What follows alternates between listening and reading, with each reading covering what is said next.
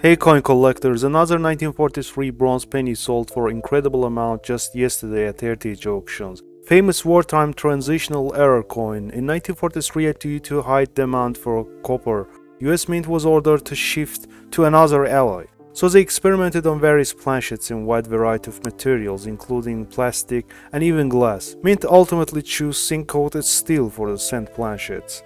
Large tote bins were used to transport planchets within the mint facilities. Occasionally, planchets from, from previous press run would be lodged in corners or recesses in those bins, and then knocked loose when a new supply of planchets filled those bins.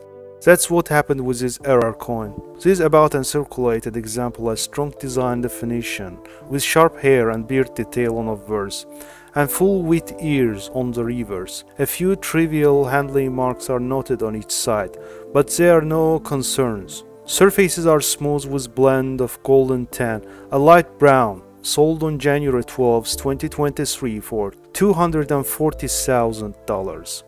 This is 1970s Washington quarter at PR66 grade, error quarter struck on 1898 half eagle, extremely rare combination indeed. A struck 1898 $5 was used as a planchet and then overstruck with proof 1970s quarter dies.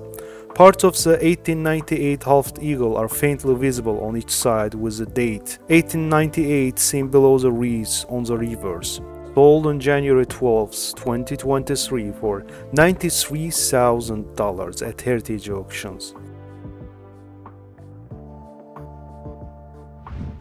Here is 1973 S Eisenhower dollar double struck on a cent planchet, grade as PR65 red and brown by NGC, a Lincoln cent planchet was fed between proof Ike dollar dies and struck twice, rotating 40 degrees counterclockwise between strikes. Relatively small wedge-shaped flange splits are evident at 5.30 and 12 o'clock. Just enough of the date and mint mark are present to confirm the off-metal mint error is 1983 S dollar.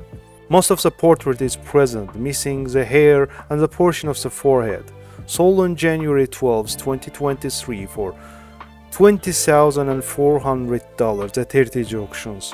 And this is 1909 VDB Lincoln Cent at PR66 red grade. The 1909 VDB is the rarest of the matte-proof Lincoln cents. A typical example is designated red and brown, though sometimes full brown coins are offered.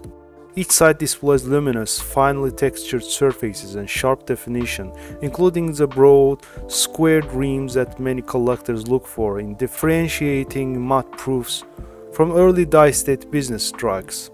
The reflective edge of this piece adds further assurance to its proof origins. Rich orange gold patina characterizes the obverse, while the reverse displays slightly lighter golden orange color. Sold on January 12th, 2023 for $60,000 at Heritage Auctions.